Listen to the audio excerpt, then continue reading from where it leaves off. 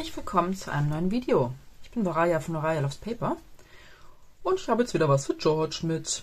Ja, ich habe ja bereits angekündigt, das, was ich in dem Sonnenblumen-Notizbuch Junk Journal Gedöns gemacht habe, ähm, wollte ich einzeln auch noch für George machen. Den einen Teil habt ihr letzten Sonntag gesehen und den zweiten bringe ich jetzt mit euch hier rein. Nur mal vorab, nicht wundern, wenn ich zwischendurch eine kleine Videounterbrechung haben sollte. Ich habe äh, warte nämlich noch einen Anruf, der reinkommen könnte. Ich muss mal eben schauen, ob ihr im Bild seid. Das wäre blöd, wenn nicht. Ha. Der Anruf könnte reinkommen, während dieses Video läuft. Und dann in dem Fall würde ich natürlich kurz unterbrechen und euch nicht mit meinem Anruf behelligen, soweit, also inhaltlich. Ja, falls ihr meinen Kanal noch nicht abonniert habt, super Gelegenheit, ähm, dann macht das herzlich gerne, ich freue mich. Schreibt mir Kommentare und Co. Ich ähm, freue mich über jeden Austausch. Schon mal vorab, die Maße hier, anders als bei dem anderen Notizbuch. Und ich hatte an, ähm, euch ja angekündigt, dass ja, jeder, der möchte, sich von mir, sag mal, die Anleitung vom, vom Notizbuch ähm, bei mir organisieren kann. Entweder per Facebook oder per E-Mail an gmail.com zusammengeschrieben. Und ja, ich habe schon ein paar Anfragen von euch bekommen und habe auch die Sachen rausgeschickt. Falls euch das jetzt beißt und ihr sagt, boah, ich hätte gerne die Anleitung, schickt mal rüber. Mache ich. Schreibt mir per Facebook oder per E-Mail. Jo, ich habe ein bisschen was vorbereitet. Ich habe diesmal nicht Sonnenblumenpapier genommen. Ich habe diesmal hier so ein ja, Kosmos irgendwas Gedönspapier genommen. Und das habe ich von Teddy, wenn mich nicht alles täuscht. Ja, auf jeden Fall soll das hier einziehen in George. Ich habe schon ein bisschen gestencelt. Ich habe alles schon vorbereitet, Leute. Designtechnisch, ne? Kriegt ihr selber hin. Ich wollte es jetzt noch einmal mit euch zusammenbauen, dass ihr das Schritt für Schritt diese Seite hier habt. Und das zieht dann hier ein. Ich lege nochmal eben mein Lesezeichen hier rein. Lege George zur Seite, weil ich würde das ganze Gerät nämlich einmal zusammenbauen. Und ähm, diesmal ist der Magnetverschluss ein bisschen anders. Dementsprechend, ja, schaut euch das einfach an. Ihr könnt das machen, wie ihr wollt. Ihr habt gesehen, wie ich es letztes Mal das, dieses anderen Fold-Out da gemacht habe. Und da habe ich dann gar keine Magnete benutzt, sondern nur Bänder. Und dieses Mal hier habe ich wieder Magnete am Start und keine Bänder. So, ich habe auch vorher schon mal geprüft, ob das mit den Magneten funktioniert. Also funktioniert in dem Sinne, sind sie ähm, haltbar genug. Das hier ist dieses Einschubkärtchen. Das würde ich jetzt einmal kleben und an die Seite legen, dann ist das nämlich fertig. Danach baue ich das ganze Ding mit euch zusammen, weil ich als allerletztes den unteren Magneten anbringen möchte und muss. Und ähm, bevor ich das Ganze nämlich ins Journal einklebe. Dementsprechend machen wir das ein bisschen anders, als ich das beim anderen Journal gemacht habe. Aber ganz ehrlich, auch die Reihenfolge. Ne? Macht die, die ihr machen wollt, die, die euch, sag ich mal, liegt. Weil ich neige dazu, jedes Mal, wenn ich das gleiche Projekt mache, sei es in anderen Farben oder wie auch immer, wurscht, piep, egal, ich neige dazu, dass ich dann, wenn ich das gleiche mache, ähm, das auf unterschiedliche Arten und Weisen tue und unterschiedliche Wege nehme, einfach weil es mir sonst zu langweilig wird. So, jetzt gucken wir mal, dass wir hier die Mitte treffen. Die Kante, ja, so halb, ne? Kopf, äh, Kopfmaß, sag ich schon, Augenmaß ist so eine Sache. Ich denke mal, das wird so ungefähr gehen. Also damit werde ich mich nicht blamieren. So, dann habe ich hier nämlich so einen kleinen Tab zum Rausziehen. Damit bin ich ganz happy. Ich habe das vorher schon distressed, habe schon ein bisschen gestencelt. Und so darf das dann nachher als Schreibkärtchen, als zusätzliches einziehen. So, dann habe ich einmal den Einschub sozusagen und habe, hoch, habe dieses, dieses Gerät, was dann hier den ersten Flap bildet. Und in meinem Sonnenblumenpapier hatte ich nämlich hier einen Magneten drin und danach bei dem Hochklappteil noch einen. Ich habe jetzt eine Möglichkeit gefunden, dass ich genau einen Magneten hier reinbaue und nicht mehrere. Dementsprechend würde ich jetzt einfach hier beginnen, obwohl andererseits, ich bin auch ein bisschen doof. Jetzt habe ich das hier oben so schön gestencelt, das werde ich gleich überkleben. Aber egal, ihr werdet sehen. Wir machen den Spaß jetzt einfach. Wie machen wir den dann? Ich fange jetzt so an. Ich lege mir den hier hin. Ich habe diese vier. Und die werde ich untereinander hier Stück für Stück draufbringen. So wie ihr das bei dem Sonnenblumenpapier auch schon gesehen habt. Also da ist nichts anders dran. Da kommt einfach wirklich ähm, Flap für Flap für Flap das Ganze an die richtige Stelle. Ein bisschen übergeklebt. So, und ich habe es jetzt so vorbereitet, dass ich hier für euch alles so weit beisammen habe, die wichtigsten Sachen noch kleben muss. Sonst haben wir wieder so ein Riesenvideo. So, wichtig an der Stelle. Dekoriere das Ding, wie du lustig bist. Ich habe hier ein Papier genommen, was ich gekauft habe. Ich habe dieses Papier nicht doppelt genommen, so wie beim Sonnenblumenpapier. Da habe ich nämlich das Sonnen, also die Sonnenblumenseite genommen und habe weißes Papier nochmal draufgeklebt. Es ist wesentlich stabiler, wesentlich fester geworden, aber natürlich auch wesentlich dicker. So, und das ist auch der Grund dafür, warum ich das hier jetzt ganz simpel mache und ein Papier nehme, wo ich auf der Vorderseite das Design habe. Jetzt an dieser Stelle ist es die Vorderseite und auf der Rückseite dann Platz zum Schreiben. Ne? Und ähm, ich habe da jetzt nicht noch irgendwelche weiteren Designs irgendwie dran gepackt, dass ich, keine Ahnung, ähm, jetzt noch irgendwelche Streifen farbig da drauf klippe. Ich habe erst überlegt, nur alles das, was ich jetzt hier noch dazu ähm, mache, im Streifensinne. Guck mal, ob ich hier noch ein Bildausschnitt finde.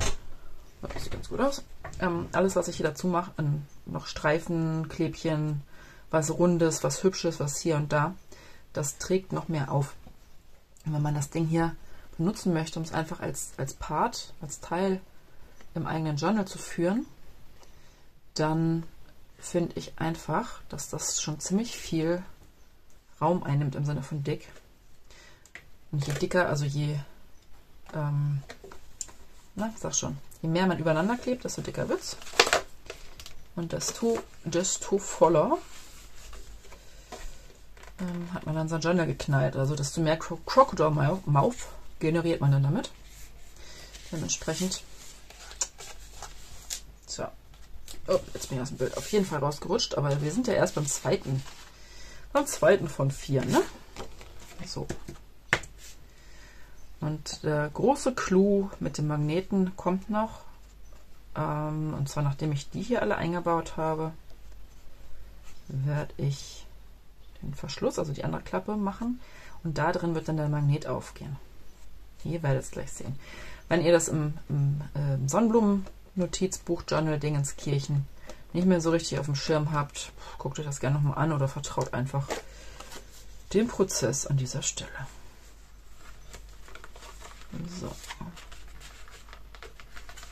Beim nächsten muss ich ein bisschen aufpassen, weil hier kann ich noch so schön schieben.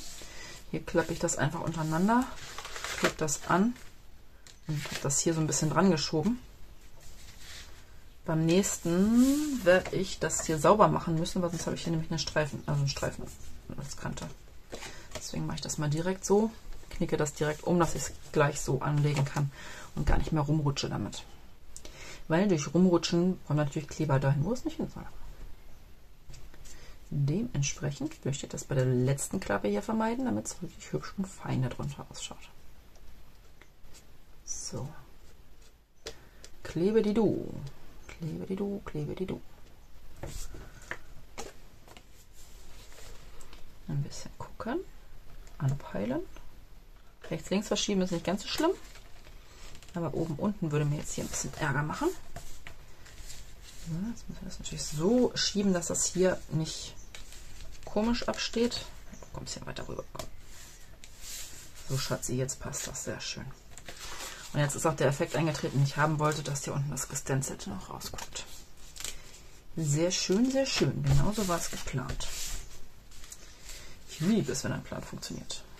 So, was wollte ich dann eben sagen? Hier, das Schatzi soll hier drauf und mit einem Magneten verschließen und geht dann so auf. Dafür habe ich einen Streifen. Dafür habe ich einen Streifen. Eigentlich hatte ich noch einen zweiten Streifen, den habe ich jetzt irgendwie weggeräumt. Warum eigentlich? Ich habe einen Streifen. So, der hier war's. Und zwar will ich das hier reinpacken. und dann einen Streifen da rein. Also ich hatte ursprünglich hätte ich das hier viel länger geplant, also dass der Bereich hier viel länger wird, dann ist mir aufgefallen, George ist gar nicht so lang, also groß. Ihr wisst, was ich meine. Und dann habe ich das einfach gelassen. So, mein Plan ist, dass ich hier diesen Flap mit reinpacke, also mit einklebe und dass er dann unter dem ganzen Werk, also unter dem letzten Element quasi drunter kommt. Das heißt aber auch, ich muss mir hier, muss ich mir mein Element dann kürzen. Das kann ich aber dann machen. Oder ich kann das auch komplett um die Ecke ziehen, wie auch immer. Jetzt müsste ich mir hier meine kleine Markierung setzen. Habe ich jetzt noch einen Stift hier irgendwo? Eine Markierung für die Mitte setzen, dass ich das auch an die richtige Stelle bringe. So, jetzt möchte ich einmal wissen, klappt so rum auf, gefällt mir. Ja, ihr, ich, ein bisschen rede ich in Rätseln, ne? aber komm, It's a Junk Journal, you know. Da denkt sich jeder seinen Kram, wie er das lösen möchte. So, ich habe jetzt hier die Stelle. Und ich mache jetzt, ich mache mir jetzt einfach mal den Spaß und warte mal, das kommt so, ja,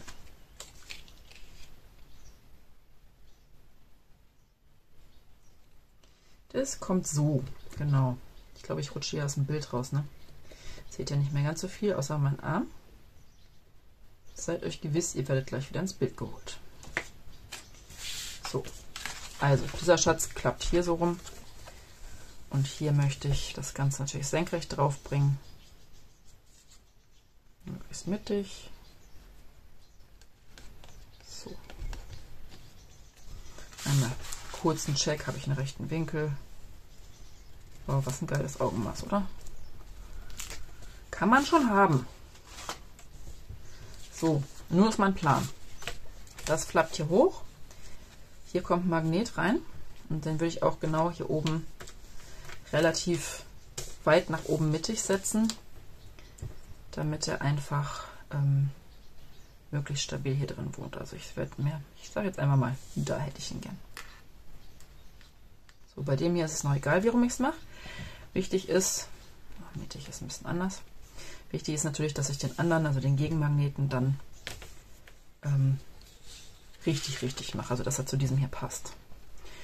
So, der Plan an der Stelle ist erstmal alles schön einbalsamieren, inklusive Magnet. Das habe ich jetzt so einen kleinen Kleberpinsel aber ihr werdet diesen kleinen Moment hier überstehen. Kleinen Moment, in dem ich hier das ganze Ding mit einem kleinen Pinsel einpinsel und nicht den, den großen. So. Das ähm, Wichtige an der Stelle ist also das Papier hier, was ich genommen habe.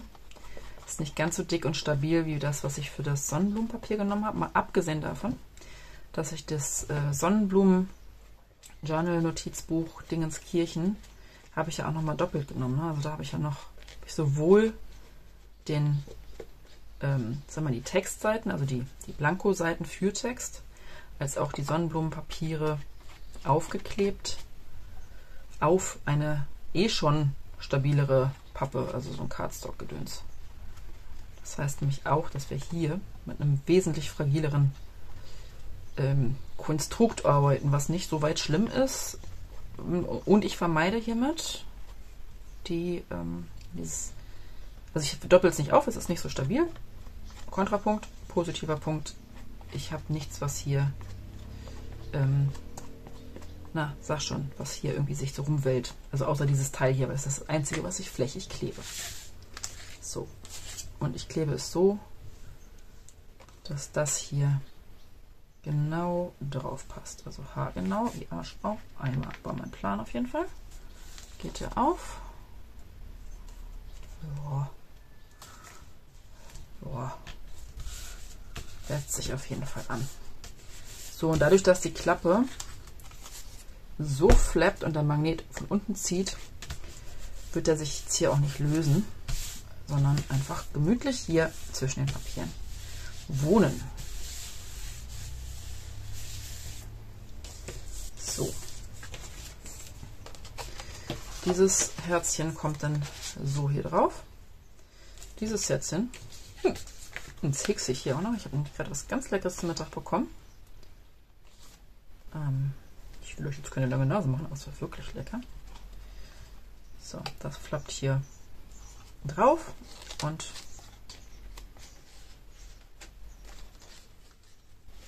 taucht denn dahinter. Ich mache jetzt, mach jetzt mal so ein bisschen augenmaßmäßig. Also ich baue es mir kurz augenmaßmäßig zusammen. So, so für euch zur Erklärung. Ich möchte das hier, soll ich ein bisschen vorstellen, ich möchte das hier so schön mittig wie ich kann draufbringen. Ja, sieht ganz gut aus. Rechts, links, oben, unten. Augenmaß passt. Dann, ah, ohne was runterzuziehen, knicke ich mir hier den Teil, weil der muss ja hier hinter verschwinden. Dann kann ich den noch ein bisschen kürzen, weil ich hatte ja, wie gesagt, das Ding ursprünglich ein bisschen länger geplant, also ein bisschen größer. So, kürze ich mir dann den hier ein Stückchen. Und hier ist es auch wurscht, ob es schief ist oder krumm oder was weiß ich. Jetzt kommt ein Teil, da ist das nicht wurscht. Und zwar würde ich jetzt nämlich genau hier noch ein Stück drauf bringen.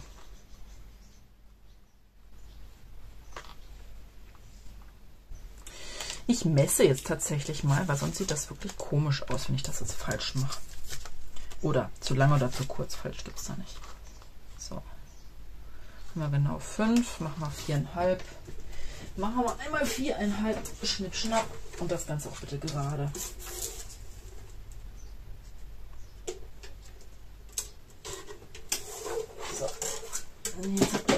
Was nicht gesehen, was nicht schlimm ist. Ich habe meine Guillotine benutzt.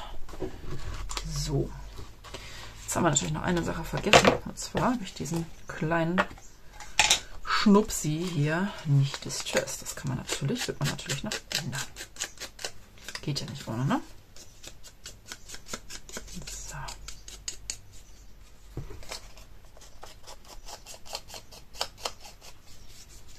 Den hier werde ich auch gleich erst aufbringen, nachdem ich den mittleren Teil aufgeklebt habe, weil diese auf diese Rundung kommt es ja auch an. So, du kriegst ja auch noch mal eine kleine Runde. Das, bei dem hier ist es jetzt, ich sage mal, nicht ganz so wichtig. Dennoch, der Vollständigkeit halber, so, genau, der Vollständigkeit halber kriegt auch, kriegen auch diese Kanten, weil die Kanten sind weiß, kriegen auch diese Kanten hier ein bisschen Distress-Farbe ab. Der guten Ordnung willen, ne? Der guten Ordnung willen mache ich das jetzt so. Und dann nehme ich mir diesen kleinen hier, schwurbeldiwupp.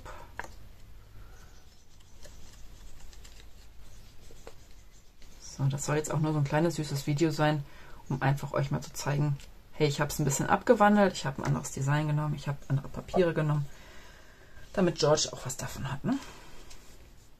Mm.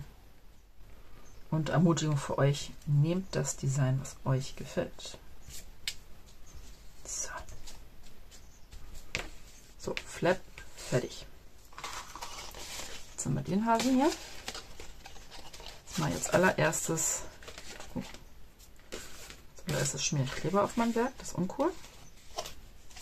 Das liegt so, das kommt so rein, klappt so auf. Das heißt, diese Lasche hier beklebe ich, bekläuster ich mit Klebstoff.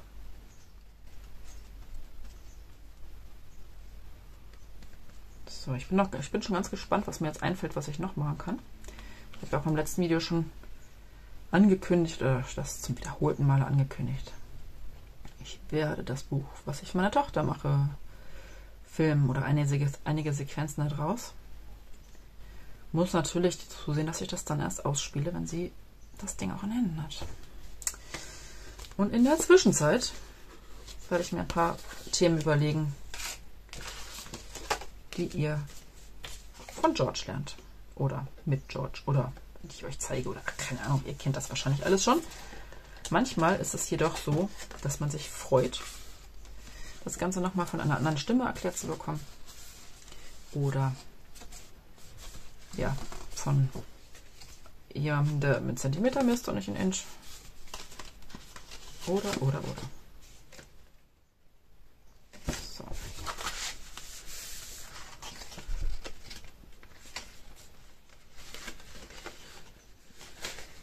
So, jetzt haben wir hier ganz viel Writing Space.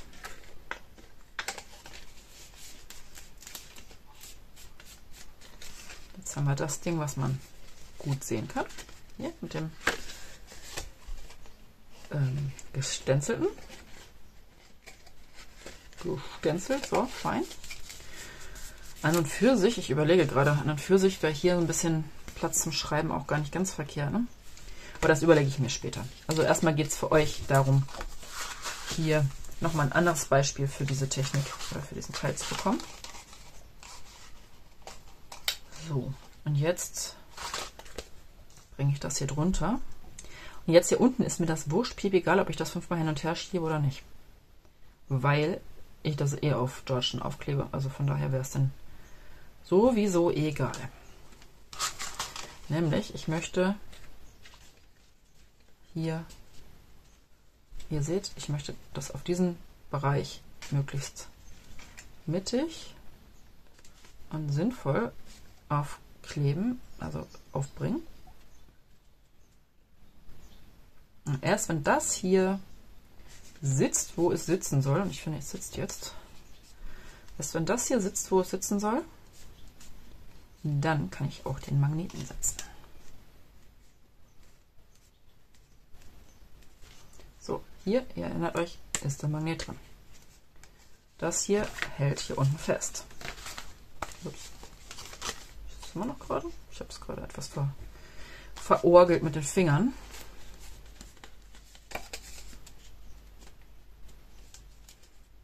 So, so klebe ich, äh, drehe ich das jetzt einfach auf den Kopf. Zack.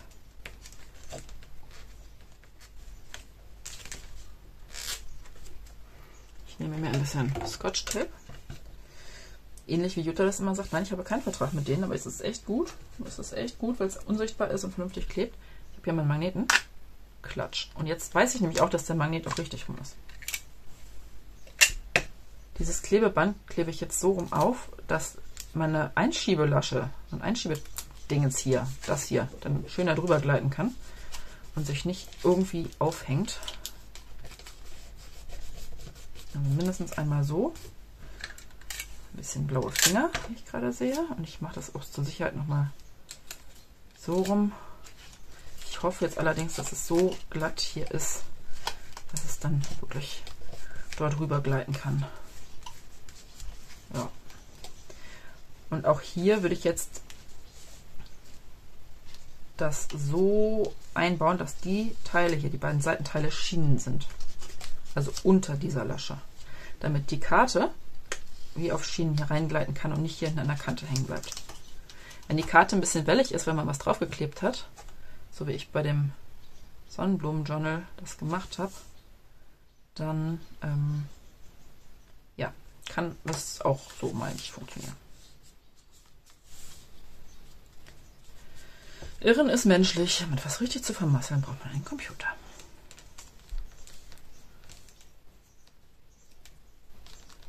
So, jetzt haben wir erstmal, jetzt die, den Grundzusammenbau gemacht. Jetzt seht ihr, den Flap kann man lösen. Er klappt auch wieder zu. Kann ich ganz aufmachen.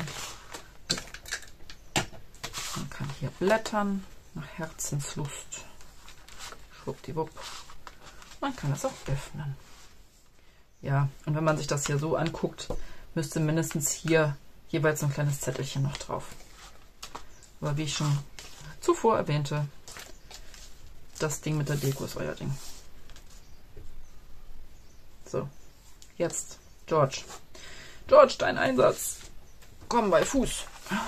Komm mal bei dem Mutti. Genau. Ein bisschen Spaß muss sein, ne? Jetzt habe ich auf meine. Habt ihr gesehen? Ich habe eine frische, frische, frische, frische, frische Schreibtischunterlage. Ein neues Blatt hier für euch extra herangeschafft. Damit ihr es schön habt, wenn ihr mir hier beim George bebasteln zuschaut. So, meine kleine stille Hoffnung ist, dass ich, wenn ich das äh, Journal für meine Tochter weitermache, dass mir dann noch so ein paar Ideen so hart über den Weg laufen, dass ich sie direkt umsetzen muss. Und dass ihr dann, sag mal, schon vor dem Geburtstag an den, von den Ideen partizipieren, an den, an den Ideen partizipieren könnt. Und dass ich vielleicht noch ein paar Rückmeldungen von euch kriege.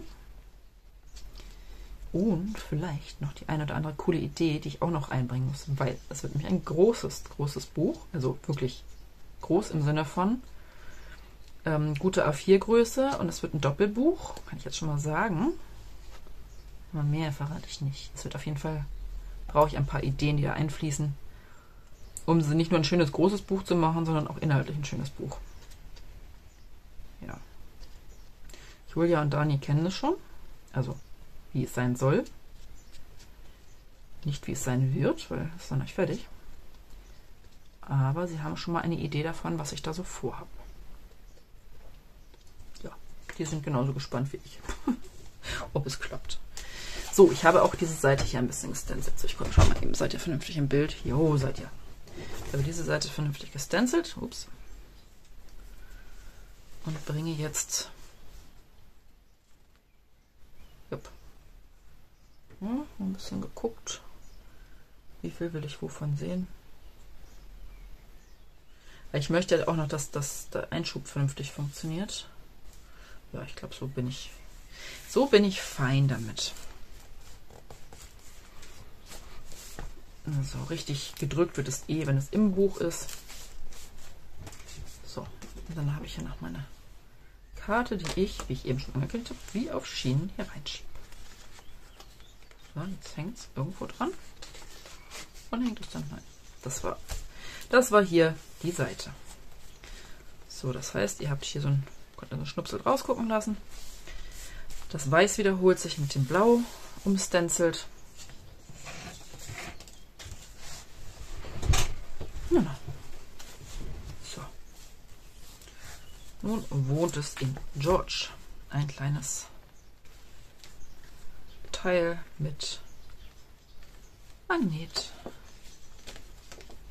So, und hier, ihr seht ja, sind die Blätterteile quadratisch geworden, während sie im anderen Journal auch rechteckig waren, weil es viel länger war.